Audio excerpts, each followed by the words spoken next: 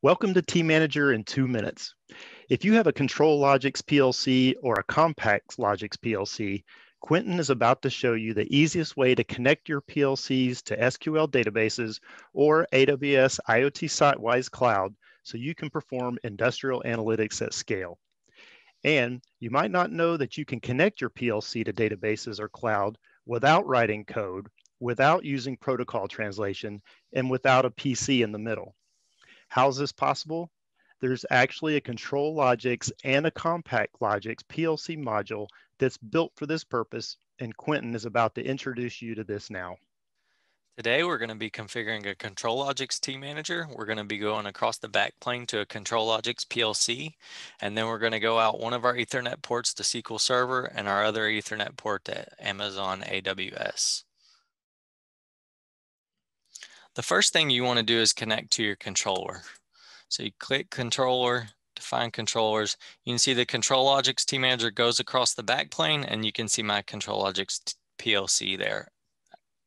The next thing you want to do is connect to Microsoft SQL Server. You'd input your credentials and enumerate the database and then hit OK to save that adapter off. Once you've done those two things, you're ready to configure a transaction. Click transaction new transaction. Today we're just going to do an insert. So I will pick my database. I need to select which table in the database I want to write to. Pick the work in process table. Say yes, we want to copy all the columns and then we can simply drag in our PLC tags that match up with our SQL database columns. So as I'm pulling these in here, you can see it's quite simple. We also have the option to where you can add a timestamp from the tManager module if you wanted to. You can also add a constant as well. So I'll go ahead and input my name here. I can simply hit connect.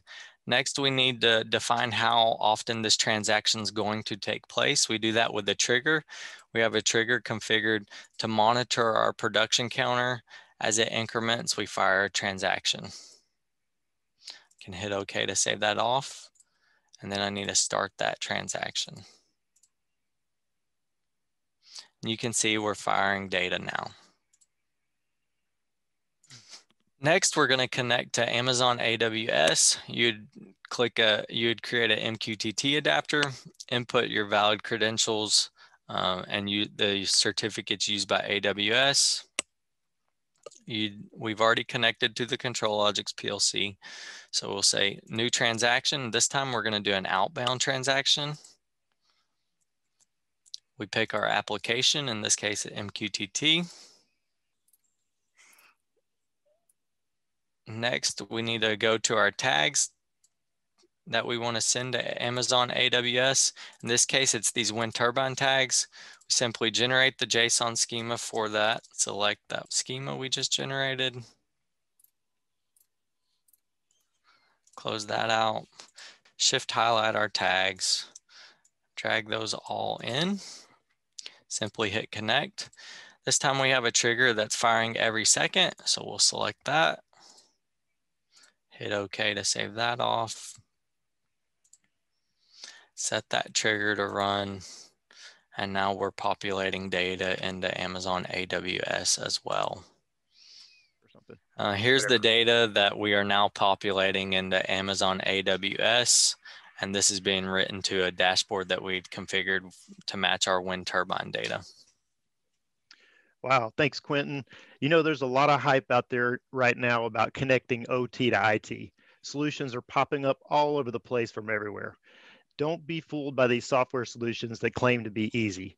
There's no other solution on the market that can do what Quentin just showed you.